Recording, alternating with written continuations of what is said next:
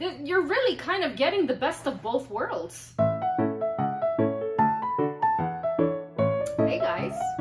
Now this is gonna be super interesting because we're gonna be working on another 3D puzzle, but I'm not talking about like your typical 3D puzzles, kind of like what we've done here before. I'm talking about a 3D puzzle with actual jigsaw puzzle pieces. So Pintoo Puzzles threw me another message asking if I would be interested in trying some of their 3D puzzles. And I was like, uh, yeah, of course. So not only did they let me choose one set, they actually let me pick out two. We are going to be putting together two of the Pintoo puzzle vases. Vases. Vases? You know what I mean. The first one here is called Flowers and Birds. It is 160 pieces and it is 4.4 by 4.4 by 9.5 inches when it's completed. And like always, Pintoo does offer their missing piece replacement service, which is fantastic. You'll never be sad if you're missing a piece in this puzzle set. But anyways, the puzzle vase sets are divided into four packs of 40 pieces. The box also has information on what's included in your set, and what I also really love about this is that Pintoo gives you tips on how to put your vase together. Now these particular sets do come with the stand for the vase. And it even comes with the water cup so that you can actually use this for real flowers. Pintoo think of everything. And the other set that I have here is called Elegant Floral Print. It's also 160 pieces and it is 4.4 by 4.4 by 9.5 inches when it's completed. And again, the puzzle pieces are divided into four separate packs with 40 pieces in each. But yeah, out of the selection that they had from the vases, vases, anyways, these two images were my favorite. I really love the design of both of these images. I really love how nice and sleek the black one looks. They both have like that floral design. These seriously look like a work of art. Look at that bird. Looks like he's having a conversation with the butterfly. That's cute. And again, what I love about this is that your puzzle pieces are pretty much typical puzzle pieces, but these are curved pieces. This is super exciting. I can't wait to see how curved these shapes are. And obviously, I guess that depends where you are on the vase itself. But I do wonder if I'm gonna get that satisfying snap sound I usually get with Pintoo puzzles. But if not, that's okay. Hit the like button if you've actually tried one of Pintoo's 3D puzzles. And if you did, let me know down below which sets you've completed. I think I'm gonna have an amazing time with these. You're really kind of getting the best of both worlds. You're building a 3D puzzle, but you're kind of using your typical jigsaw pieces, which both are fun, but I've never tried it like this before. But you know what? I really don't think I have much else to say aside from I really want to hurry and open these up because I want to see what these are going to look like in the end. So let's get started. All right, let's open up our first set here. They do include a thank you card and, oh, win free puzzles through Lucky Draw every month. That's cool. All right, let's see what's inside. All right, we have our bags, Oopsie. So here is our puzzle stand, nicely wrapped in plastic. I'm gonna leave it in the bag until I'm ready for it. We'll just put that on the side for now. We have another bag here that includes the water cup so that you can put in real flowers. And we have the lower base and the top ring of the vase, which is what secures the whole thing in place. So we're gonna put that on the side as well till we're ready for that. And here are our puzzle pieces. Oh my gosh, look at that. And Pintoo has basically laid out the steps on the completion process, which makes life lots easier. Let's open up bag one. So again, each bag has 40 pieces and check out the curve on these It's clear on one side and on the front is the actual puzzle print. Look at how clear that print is. This is amazing. Oh my goodness, the level of detail in each of these pieces. These colors are in no way dull. They're super vibrant. Look at those pinks. And all Pintoo puzzles, again, are plastic. This is super solid, like always. And of course, fantastic, no puzzle dust. Now these definitely do have a shinier finish than the flat jigsaw puzzles from Pintoo. So yeah, we're gonna have a little bit of glare here, but again, I'm not fussed about it because, I mean, come on, look at the detail on this. So yeah, this is gonna be very interesting. I'm very curious to see how this is gonna fit together. Is it gonna make a satisfying snap sound? I don't know. I hope so, but if not, I'm not gonna be mad because I know that when I'm completely finished with this vase, it's gonna look absolutely amazing. Now remember, we're also gonna be completing this set as well, but it has the exact same contents as the other one, of course. So we're not gonna open this one right now. What we're gonna do is, I'm gonna complete this first vase, and then once I'm done with that, I'm gonna immediately get started with this one because I'm pretty sure I'm gonna be too excited. I'm not gonna wanna stop. And then in the end, we'll put flowers in our puzzle vase. All right, guys, let's get started.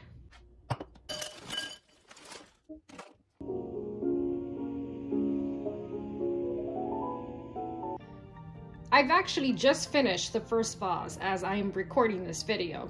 So what I want to do right now is with using the second set that I have here, I just want to give you a closer look as to what you are dealing with in the beginning stages of this puzzle and obviously throughout the rest of it. But this is the bottom base of your ring. This is basically where the whole thing connects to.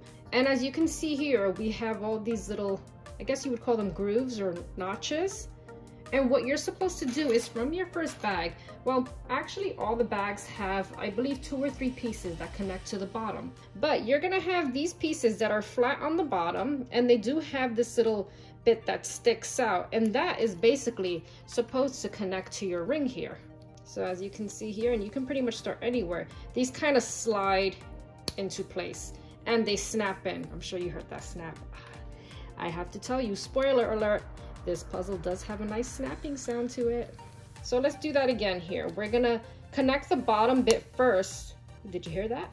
And then these two are gonna just kind of automatically set into itself right there.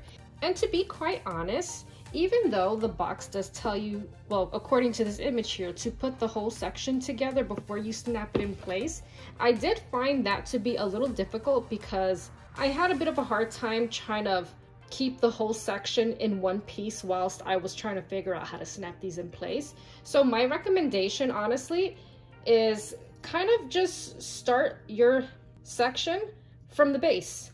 Snap your bottom pieces in, and once those are nice and secured in place, it's gonna be much easier for you to kind of hold the whole thing and just kind of work your way up on the whole section. And then when you get to the next bag, you just continue on to the next two and then build your way up the whole vase. And I just, again, I found that a bit easier as I went along through um, this vase. It really did take me till I got to the second bag to kind of get in the hang of the best way of putting this together. And once you kind of get into the groove or the rhythm of piecing it together, it, it's very easy. So again, to start it, you could just go about putting bag number one together first and then snapping into place. Or what I personally prefer is start at the bottom, right on the base, and then build your way up from there and then move along with the bags. And it just kind of just goes around in a circle and builds up at the same time. I mean, I don't know, that's just, that, I feel like that's how my brain and hands work best. So, you know, you, you can do what's best for you in the end. So, yeah, this was pretty interesting at times. Because really, this is not something that you can just go all willy nilly with. You can't really just go about putting whatever pieces and whatever sections you want at any time. Pintoo did put tips on the box for a reason, and that's pretty much for you to really have the best experience possible.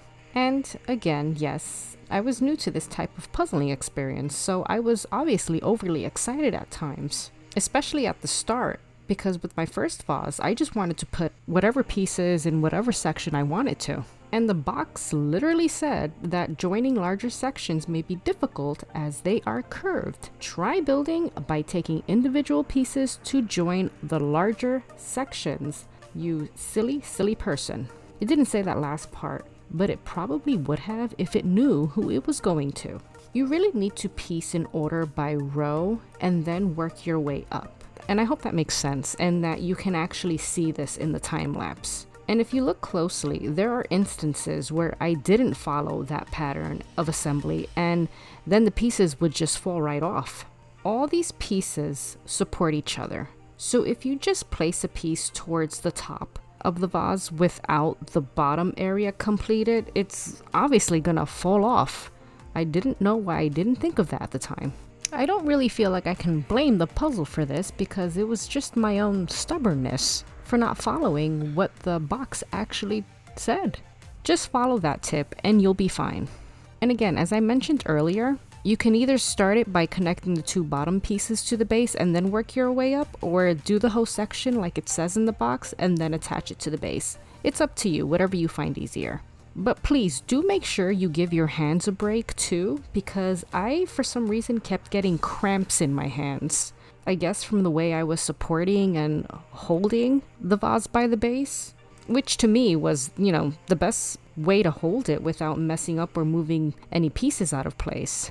But my goodness, what's my problem? Why was I holding it so intensely that I gave myself cramps in my hands? Has that ever happened to you? Or do I just need to exercise my muscles more or something? That's a bit strange.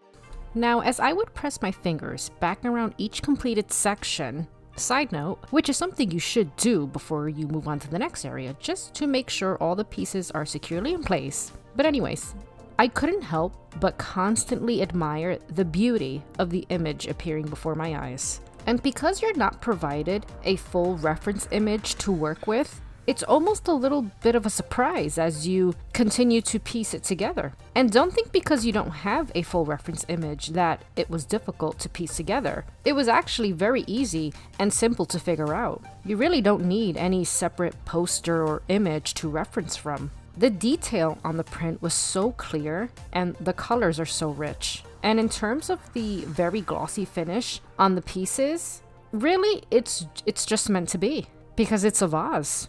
They're supposed to be shiny like they're made out of glass or porcelain or anything that can shatter, really. But you don't even have to worry about this one shattering, of course, because it's plastic and it's a puzzle. Just piece it back together if anything horrendous happens to it. You can't do that with glass, which is nice. And this is Pintoo, so you know I had to come up with another snapping montage. Oh yeah, you will hear that every now and then while you're putting this together.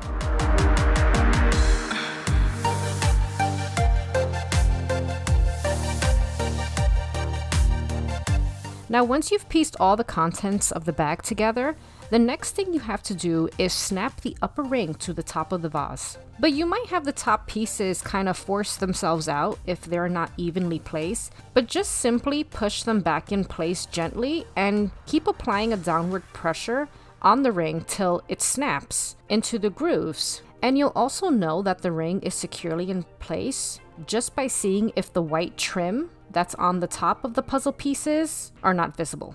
Then insert the water cup from the bottom till it stops and then slightly turn it in either direction to lock it in place. Then to finish it off, place the vase on the pretty base that's also provided to you. And find a good spot in your home to show off this awesome piece of art or puzzle. Now, I tried to get a real cool shot of me pouring water into the vase, you know, without me in the shot. And I ended up pouring water everywhere else instead of inside the cup. So, of course, the water that didn't make it into the cup kind of leaked out of the puzzle. But I just removed the cup to kind of like dry it up inside as best I could and put the cup back in and stop trying. So, yeah, don't do that. I'm pretty sure if I was actually looking at where I was pouring, it would have gotten into the cup. But, anyways, I tried to get a cool shot and I failed miserably. But that's okay. This puzzle's waterproof, anyways. And yeah, I know my flower is dry, but it's from Mother's Day and that's all I had.